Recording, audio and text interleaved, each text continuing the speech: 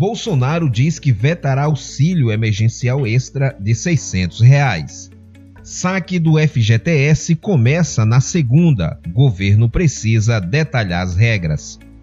Homem é assassinado com mais de 30 golpes em outeiro. Pará atinge a marca de 50 mil recuperados da Covid-19.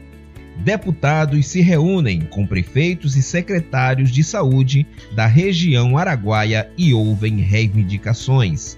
Márcio Miranda critica escândalo de corrupção em compra de respiradores no Pará e pede que justiça seja feita. A compra dos respiradores defeituosos e milionários do governo do estado é alvo de investigação da Polícia Federal, que na manhã da última quarta-feira 10 cumpriu mandados de busca e apreensão durante a operação Parabellum, que apura fraudes na compra dos aparelhos. O ex-deputado Márcio Miranda criticou o escândalo em suas redes sociais. Abre aspas, famílias perdem filhos, mães, pais, enquanto o dinheiro que deveria ser empregado para salvá-los é guardado num cooler escondido por pessoas que têm a missão de amenizar a dor e o sofrimento alastrados no estado pela pandemia. Fecha aspas.